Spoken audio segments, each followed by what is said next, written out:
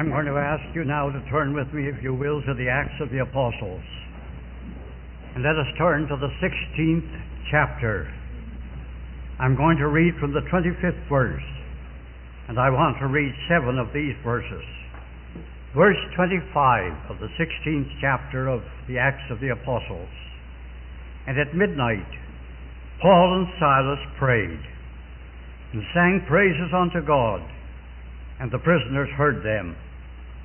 And suddenly there was a great earthquake, so that the foundations of the prison were shaken. And immediately all the doors were opened, and everyone's bands were loosed. And the keepers of the prison, awaking out of his sleep, and seeing the prison doors open, drew out his sword, and would have killed himself supposing that the prisoners had been fled. But Paul cried with a loud voice, saying, Do thyself no harm, for we are all here. Then he called for a light, and sprang in, and came trembling, and fell down before Paul and Silas, and brought them out, and said, Sirs, what must I do to be saved?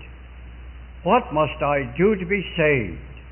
And they said, Believe. Believe on the Lord Jesus Christ, and thou shalt be saved and thy house. Years ago, when I was only 16 years of age, I left my home and traveled 94 miles to Toronto to attend the great campaign that was being held by Dr. R.A. Torrey and Charles M. Alexander here in Massey Hall. I attended the last eight services of that campaign. I listened to Dr. Torrey's messages. I reveled in the singing of the gospel songs. When the invitation was given on the second to last day of the campaign, I got, got up out of my seat, walked down the aisle, shook hands with Dr. R. A. Torrey, went down to the basement of Massey Hall, and there on my knees I accepted the Lord Jesus Christ as my own personal Savior. I say I was then just 16 years of age, and I had traveled 94 miles in order to get saved.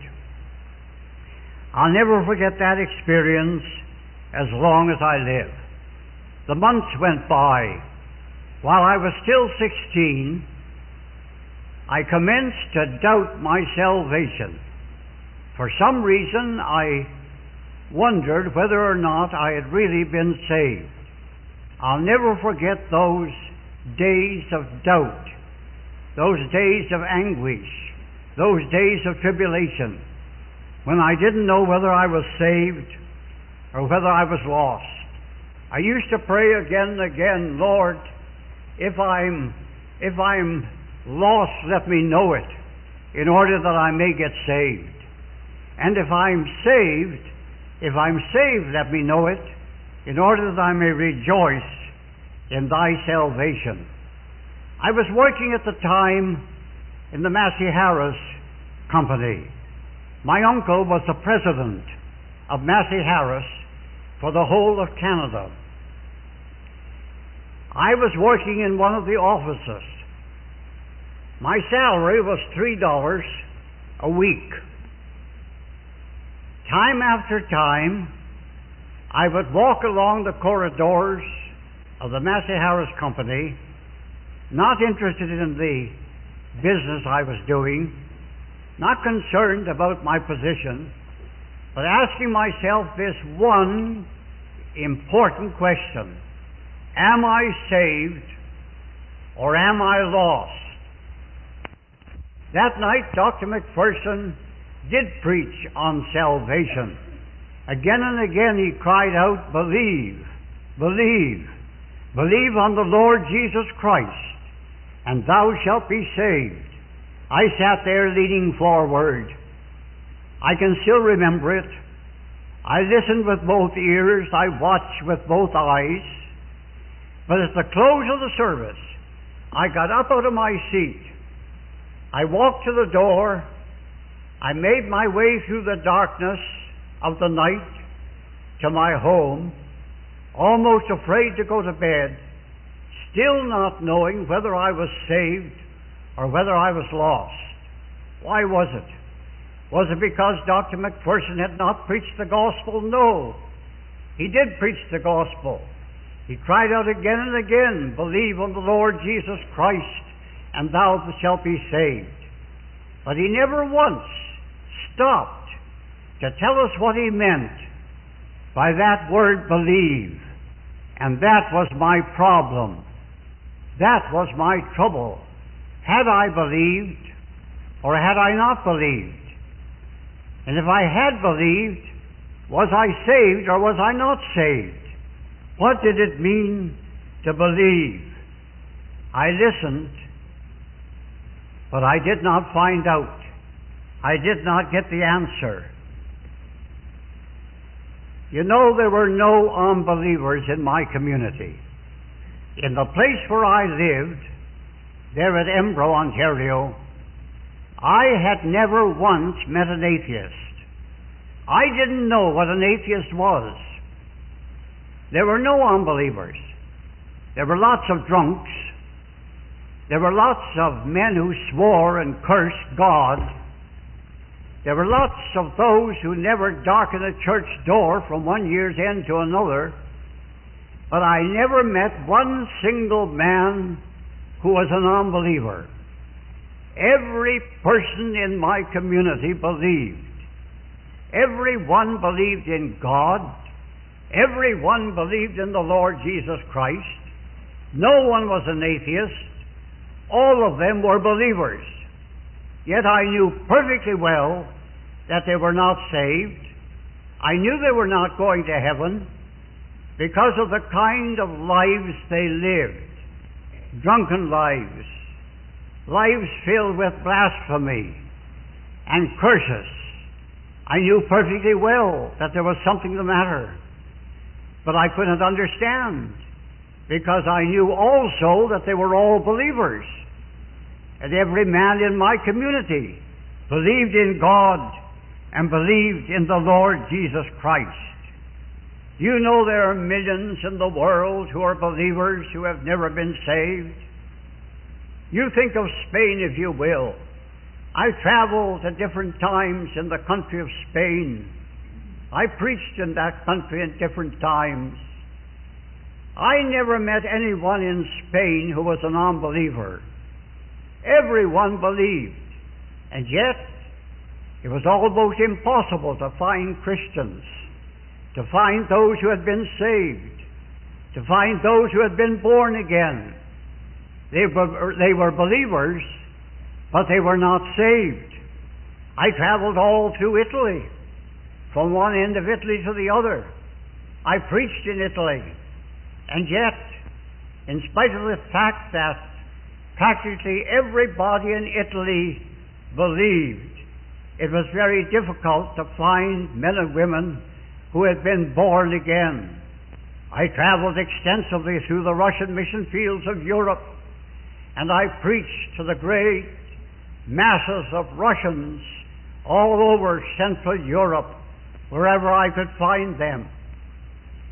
And the Russians went to church, just as they went to church in Spain, just as they went to church in Italy. So over there on the Russian mission fields of Europe, they went to church. They were in church every Sunday. I used to go. I used to see them standing there. Of course, they never sat down because in the Russian churches there are no chairs and there are no pews, and there are no seats, and nobody would ever dream of sitting down to worship God. They stand for an hour or two hours and take part in the entire worship, but none of them are seated. They're all standing, and I stood with the rest of them, listening to the service over there on the Russian mission fields of Europe. And I knew perfectly well that even though they believed, they had never been born again, and they did not know Jesus Christ as their own personal Savior. Then one day, in the midst of the agony of my heart, I got a hold of that little precious book entitled Safety, Certainty, and Enjoyment. I sat down and I read it from cover to cover. A little bit of a booklet worth about three and a half cents, or at the most five cents. I read it through, and as a result, the light broke, and I came to realize what it meant to believe on the Lord Jesus Christ. And from the time I had read that book until this day, I have never had one moment's doubt in regard to my salvation. I've known that I was saved. I've known that I was born again. I've known that I was a Christian. This was very, very early in my life. When I took charge of a church, I put that little booklet on the table in the vestibule during all the years of my ministry as pastor of the People's Church for well over 30 years, during all those years, I saw to it that that little booklet was always on the bookstand so that it could be sold to the people. They could get a copy and they could find out what I found out. They could get to know what it meant to believe on the Lord Jesus Christ and thereby to be saved. That's an experience that I'll never forget as long as I live. Now, there are just three steps in saving faith. The first step I express by the word hear. H E A R hear. How shall they believe except they hear? That's why we send missionaries to Africa and to India and to the other foreign fields. People must hear before they can believe and before they can be saved. And therefore, the first step in saving faith is expressed by the word hear. People must have a knowledge of God's salvation. That's why we try to persuade them to come to church, so that they'll be under the sound of the gospel and they'll hear the message of the salvation of God. Then they'll get saved as the Holy Spirit convicts them and they give themselves to the Lord Jesus. But I'm not going to dwell on that word tonight.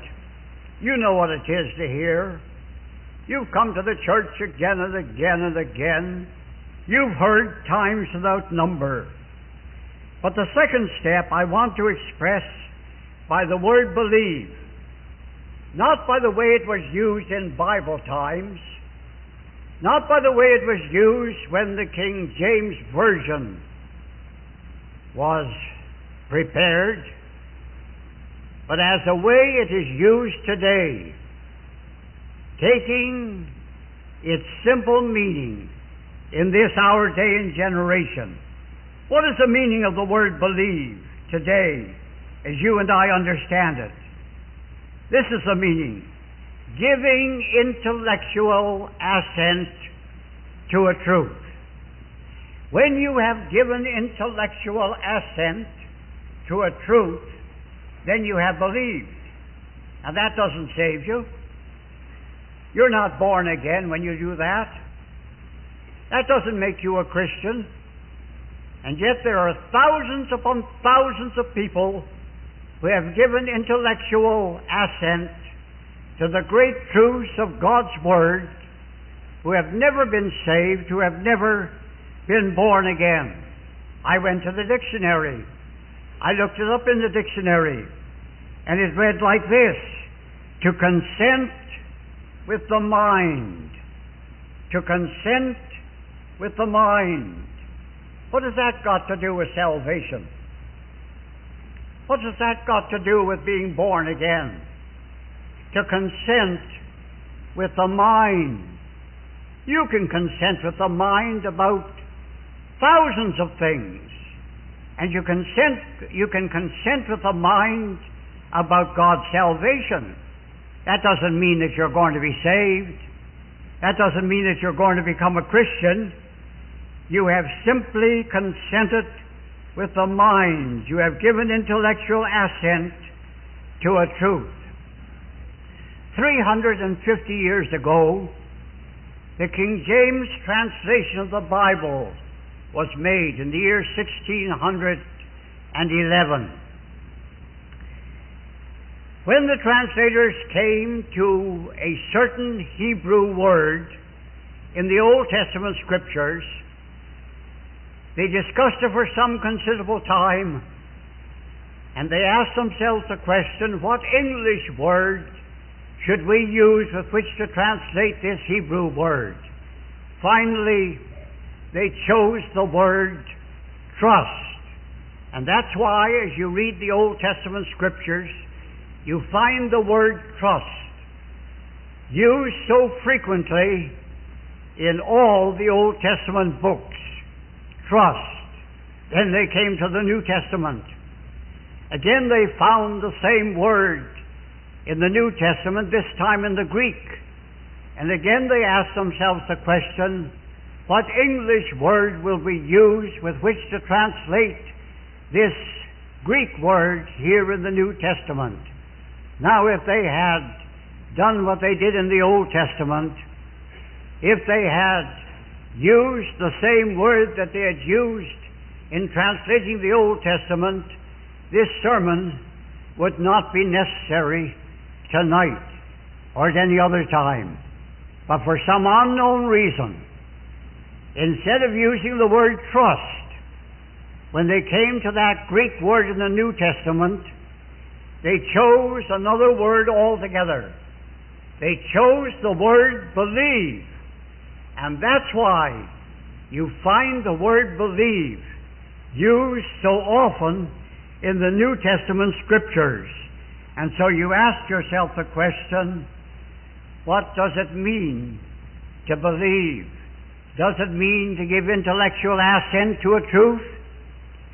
Does it have to do with the intellect? Or does it have to do with the heart? What does it mean?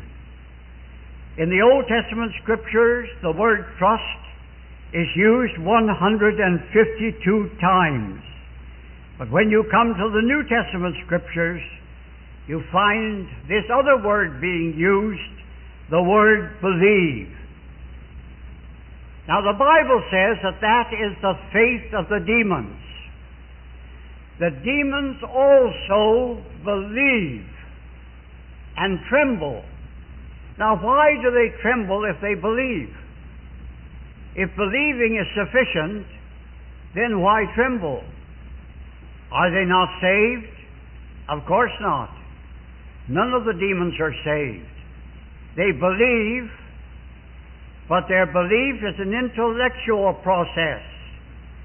They believe with their minds. They know that Jesus Christ was the Son of God. They know that He died on Calvary's cross. They know that He bore the sins of the world in his own body on the tree. They know all about his relationship to the Father. They know these things. But are they saved? Most certainly not. Not one of them.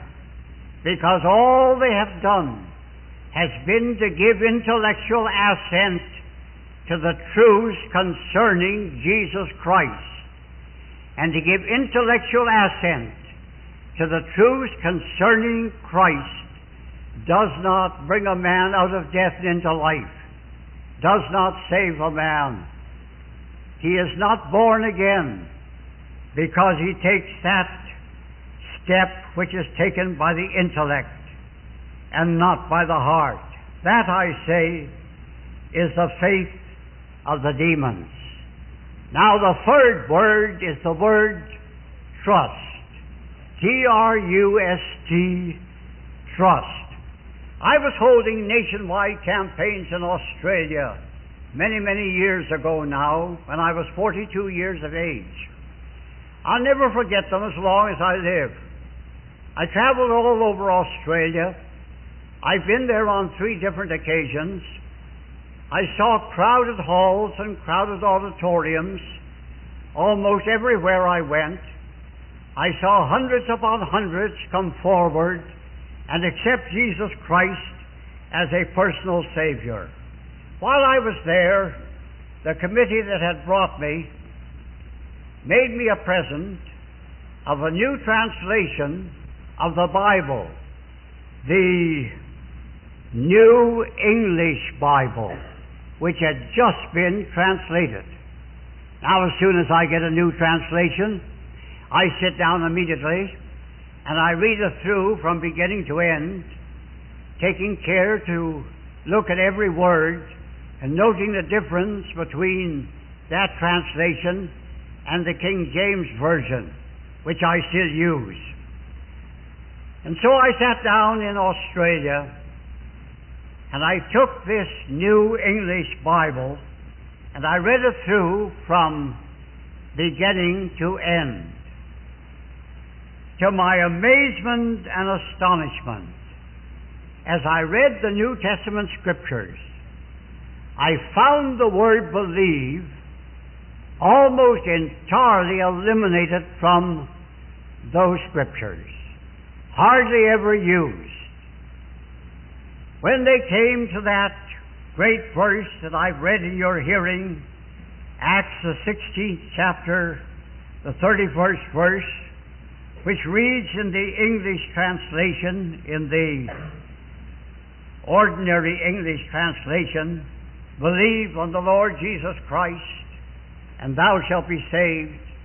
This New English Bible translated it like this Put your trust in the Lord Jesus, and you will be saved. Put your trust in the Lord Jesus, and you will be saved. I want to tell you, when I saw that, I sat up and took notice. I thank God for a translation that put it right, that cleared up the difficulty, that solved the problem. And as I went on to read the rest of the New Testament, I found that again and again it said, Put your faith or put your trust in the Lord Jesus, and you will be saved. If they had translated it that way, in the King James Version, my message tonight would not be necessary. You would understand in a moment the meaning of faith. You would forget all about your intellect and you would think about your heart. And instead of believing with your intellect, you would trust with your heart. And the moment you trusted the Lord Jesus Christ with your heart, you would pass out of death into life and you would be saved. It isn't believing that saves the way the, the word is used today. It's trusting that saves. And only when you put your faith in the Lord Jesus Christ only when you trust Him do you pass out of death and into life. Now, there are two things that that word trust emphasizes. First of all, it emphasizes this the fact that effort of any kind must be absolutely excluded as long as you put forth effort, works, in order to get saved, you never will get saved. But as soon as you set aside effort or works in order to be saved and put your trust in the Lord Jesus Christ, that moment you will pass out of death and into life. It's like a man floating in 1932, I visited Palestine, a visit that I'll never forget, never have forgotten. From that day to this, I spent a great many days in Palestine. And I went down to the Jordan River, and I had a swim in the waters of the Jordan River, swimming across the Jordan from one side to the other.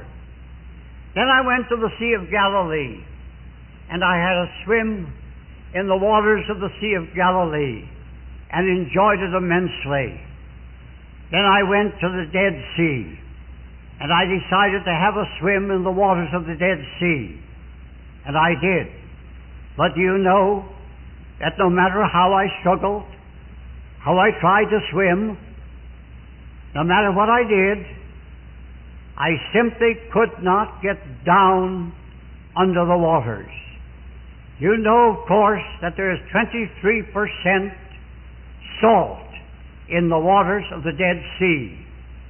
And as I was in those waters, I discovered that if I had had a newspaper or a book, I could have thrown myself back on those waters on my back, and with great comfort I could have read that newspaper or read that book without making one single motion with my hands or with my feet, and I wouldn't sink. I would float because of the salt in the waters of the Dead Sea. The only way that you and I can get into contact with the Lord Jesus Christ, I say, is by trusting, by putting our faith in Him, by floating on His salvation not by putting forth effort, not by using our hands or indulging in works or trying in any other way to get to Christ. We have to do absolutely nothing but trust the Lord Jesus for our salvation.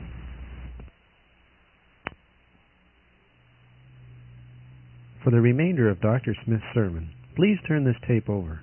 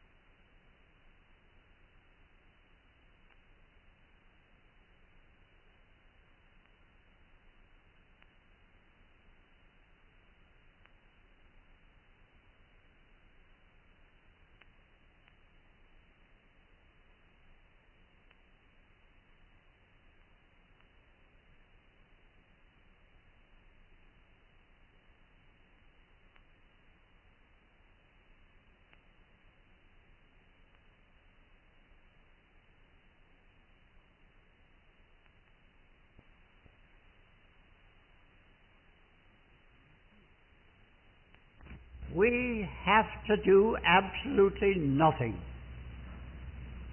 but trust the Lord Jesus for our salvation. And the moment we trust Him, we pass out of death and into life. Have you ever floated on God's salvation? Have you ever floated on God's great work of redemption? Or have you been struggling? Have you been working? Have you been striving? Have you been trying by putting forth effort to, to find your way to God?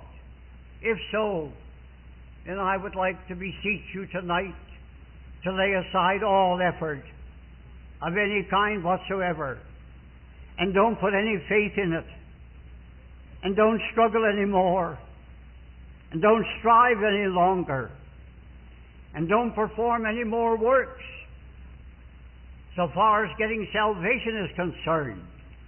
Merely throw yourself back, as it were, on the waters of God's salvation and float.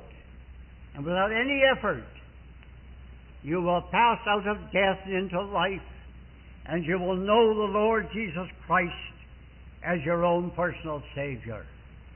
Last of all, it implies committal. And I suppose the marriage ceremony is the clearest illustration. Here's a young man who keeps company with a young woman for some considerable time. And here's a young man, here's a young woman who keeps company with that young man. And during their engagement, the girlfriends gather around and they ask her some very important questions. They say, We understand that this young man to whom you're engaged is going to provide a home for you. Is that right? Yes, that's what he's going to do. Well, do you have the home? No. Of course I do not have the home. And yet you believe the young man. Certainly I believe him. He's going to provide a home for me. We understand He's going to buy food for you. Is that also true? Yes, that's also true. And does He do it? Are you getting the food? No. Only when we go to the restaurant together. And sometimes I pay the bill. No, I'm still living in my Father's home and I'm still eating my father's food. And yet you believe the young man. Yes, I believe him with all my heart. I have no doubts of any kind. We understand he's going to buy clothes for you. Yes, he is. Well, do you have them? No, my father still buys my clothes. He hasn't bought any for me. And you tell us that you believe him? Yes, I believe him, in spite of the fact that he hasn't yet bought a single garment for me. I believe the young man. There comes a never to be forgotten day when the young man stands at the front of the church auditorium, first on one foot, then on the other, waiting there impatiently for the coming of his bride. And at last, on the arm of her father, she comes walking slowly, oh so slowly, up that aisle. She wants every eye to be fastened on her and to see the wedding garment that she's wearing. And that young man stands there waiting impatiently for her to arrive. At last they stand side by side at the front. Then the minister asks two or three very important questions. For instance, he says to the young woman, Wilt thou have this man to be thy wedded husband? And she wills. and then when it's all over, on the arm of the young man. She walks out of the church having done something that she had never done before, having given herself over, having handed herself to, having trusted the young man of her choice. Something that has happened for the first time. And now she goes out with the young man. Never again will she have to work. It's now up to the young man to look after her. It's up, him to, up to him to support her. Her place is in the home. His place is out earning the money that she needs for support, providing for her. And so he works for her. He labors for her. And she takes care of the house, takes care of her husband, takes care of the children. This is the way it was when I was a young man. Many, many years ago now. She is his responsibility. And that's the way it is with the Lord Jesus Christ.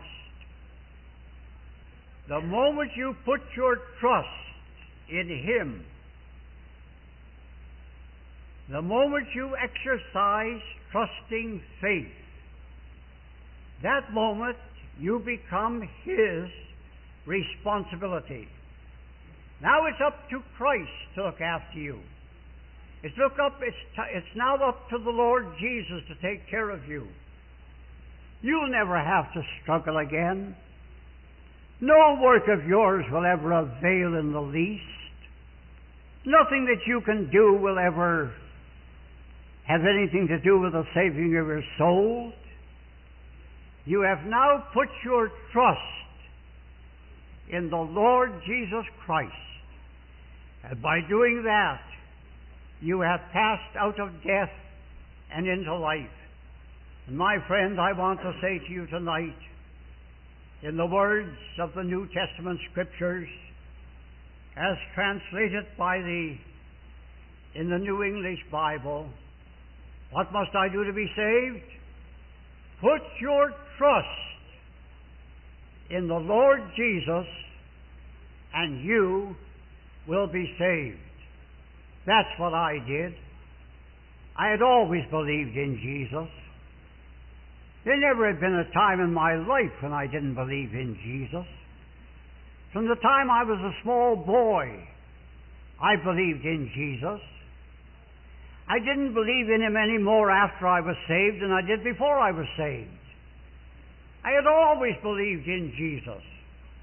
I knew he was God's Son. I knew he had died on Calvary's cross. I knew he had borne my sins in his own body on the tree. I knew those facts intellectually. Every one of them. But I wasn't saved. Until the night in Massey Hall, I walked forward, went down to the basement, got down on my knees, opened my heart, and for the first time in my life, at 16 years of age, received, trusted the Lord Jesus Christ as my own personal Savior. And just as I trusted Him then, so I am still trusting Him now. If you have believed intellectually only, you are not saved. You are not a Christian. But if you have trusted, if you have put your faith in the Lord Jesus Christ, then, my friends, you have passed out of death, you have passed into life, and you know Jesus Christ is your own personal Savior. I want to make that clear because I want everyone in the People's Church to know what it is to be saved by trusting the Lord Jesus. Not by believing intellectually, but by trusting with the heart and in the heart. Have you done it? Have you done it? If you haven't, let me, then let me urge you tonight to put your trust in the Lord Jesus, and you will be saved. Shall we bow together in prayer? Could we have every head bowed and every eye closed? All of us have just listened to the kind of preaching that built this church. None of us will ever hear the gospel more simply. We will never hear it more understandably. We will never hear it more clearly. We'll never hear it more concisely. No matter who we are, this message from the Word of God by our founder leaves us, all of us, in just two categories. There are those who have trusted, there are those who have not trusted. There are those who have floated, there are those who haven't floated. There are those who have said, I will. There are those who have never said, I will. May I ask you two questions before we close our service? I wonder how many there are here tonight who, in the light of this extremely clear message, can say, Dr. Smith, I know what you're talking about. I know what you mean. I too believed for years, but there was a day when I trusted. And I know I'm saved. Have you? If you can say there was a time, there was a place, there was an hour, there was a situation when I did personally what you did in Massey Hall, and Dr. Torrey preached. I have trusted Jesus with my heart, with my life. And I know it. I know I'm a child of God. If you can say that while our heads are bowed and our eyes are closed, would you put your hands up right now with me all over the building, everybody who can say it honestly, truthfully before God? Would you please put your hands down? It looked as if almost everybody raised a hand, but maybe there's one person. An honest man, an honest lady, an honest girl or boy. Maybe you've been coming to this church all your life. Maybe you've been in some of the Sunday school classes, some of the singing groups, some of the instrumental groups of this church. And you've always believed, you've always known Malingo. But you were honest, and I thank God for that. You did not raise your hand because you couldn't before God, because God saw you.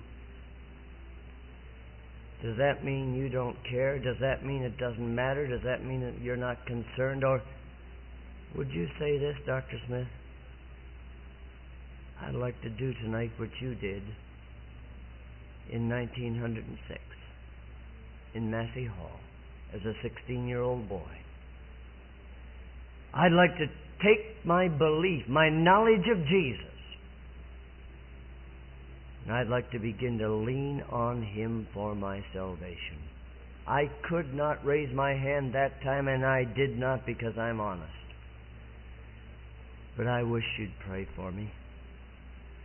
I wish you'd ask God to help me. And I know Dr. Smith Sr. would be delighted to pray for you. He's had 70 years of praying for people all over the world.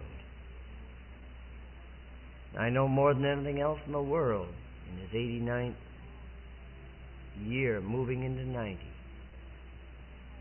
he'd like to do what he's done for thousands of people all over the world pray for you and ask God to help you trust.